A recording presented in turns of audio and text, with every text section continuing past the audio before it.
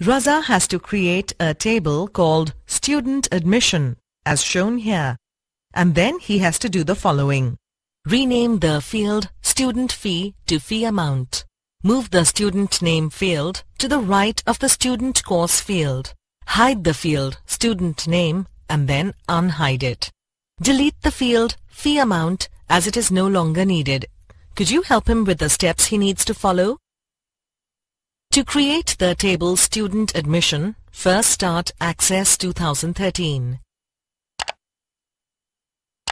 Now create a blank database by selecting Blank Desktop Database.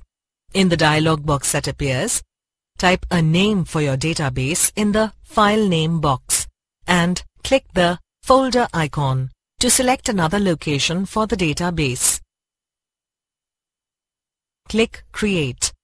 You will see a blank table, Table 1, in Datasheet view where you can add data. Notice that the first field by default is the ID field. This field acts as the primary key for the table and will always hold unique values. To change the name of this field, select the field, click Name and Caption in the Properties group, set the name as Student ID and click OK. The name of the first field will change to Student ID. Next, to add a record to the table, select the empty cell below, click to Add in the table and type the required student name. Now press the Tab key to move to the next field.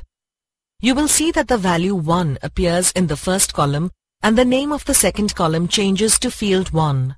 Similarly, add values to two more columns.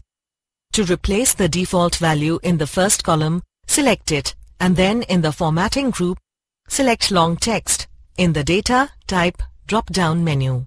Now type the value as S01. Similarly add other records to the table.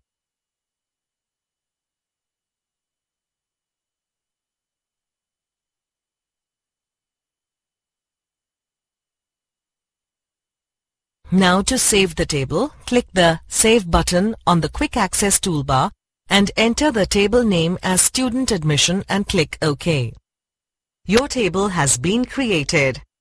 Now to rename the field Student Fee, double-click in the field header and type in the new name, that is fee amount. Next, to move the field Student Name to the right of the Student Course field, click the column header Student Name and then drag it to the right after the student course field and release the mouse button. Before we move on, let's answer this question. The commands to hide, unhide, freeze and unfreeze columns are also available from the context menu that opens when you right-click a field name.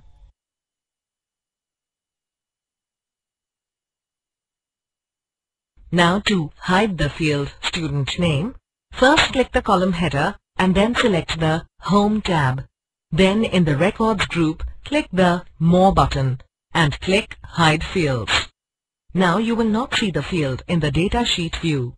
Now to unhide the field, student name again, select the Home tab and in the Records group, click the More button and select the Unhide columns.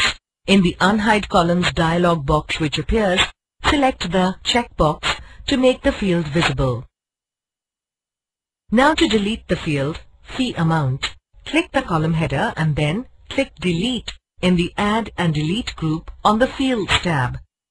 A message box with the message, Do you want to permanently delete the selected fields? And all the data in the fields will appear. Click Yes to permanently delete the field.